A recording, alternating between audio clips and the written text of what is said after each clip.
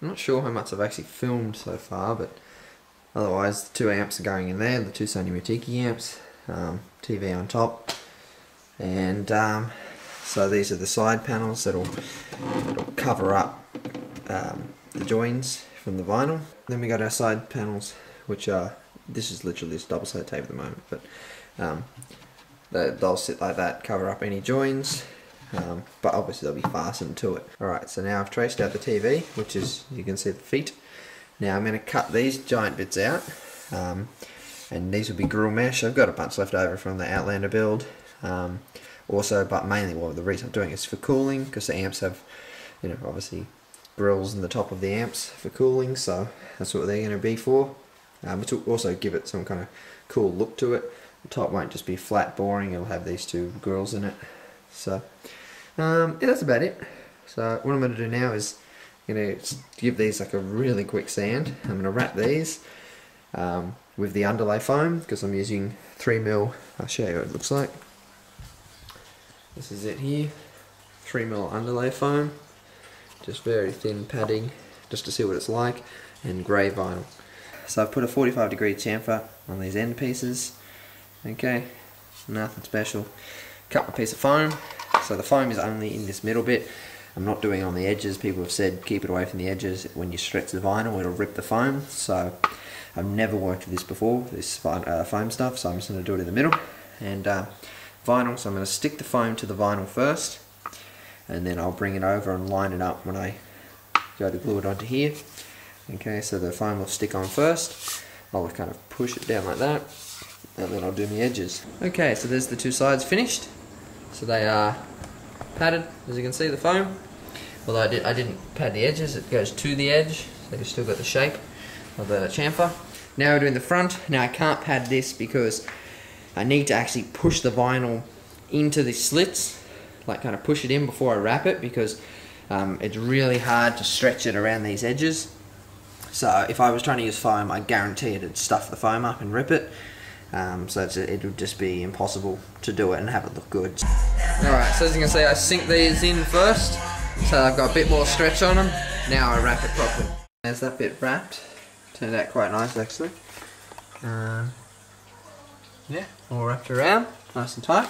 The sides cut out for the grills. So now I'm going to uh, do a 45 degree chamfer on those around the top.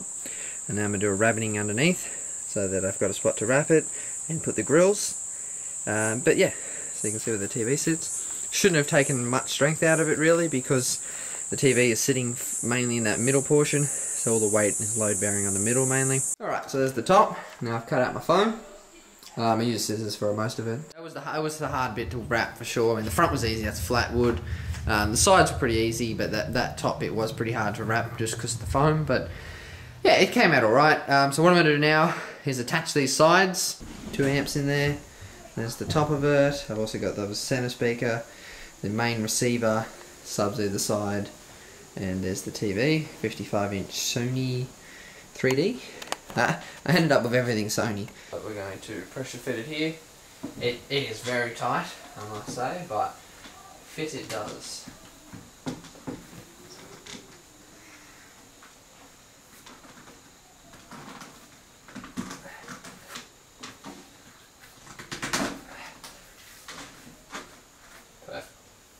Seamless.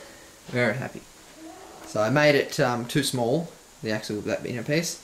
So now, when you sit here, I've just got two knobs there. Um, they are slightly off center, as you can tell, and that's because there's a button on each right side of the amp, just in there, so each side is slightly longer. So there we go. There's the bass, as you can see. I have to had to leave strength, but also you can see the the base out the base of the TV actually slopes off, which I've tried to follow into the grill. Um, yeah, still obviously strong enough to hold the TV on there. Got a grill on each side for the cooling for the amps. That's how she looks. Pretty neat cabling, considering there's a lot of stuff there. That's just the power cables.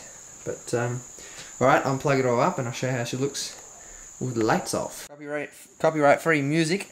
But um, some of you may remember this. This used to be my old intro. So we'll just play this to give you an idea. But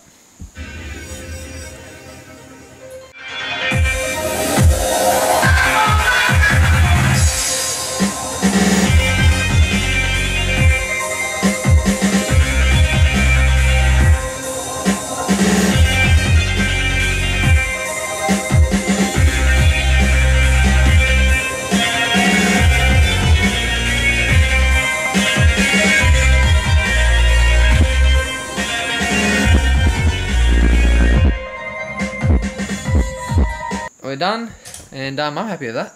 So I mean, it's just basic, really. I mean, literally, it's like five bits of wood um, and some grills that I had left over.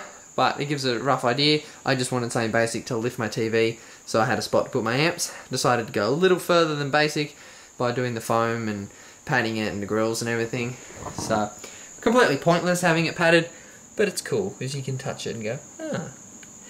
Anyway, there you go, guys. Stay tuned for some real box builds though coming up. One of them for that Cadence 8 inch that I bought. Um, you may have remembered ages ago. Uh, there's a cool box build coming up for that for myself, and um, also another build for a 15. But I'm not going to tell you what that is right now.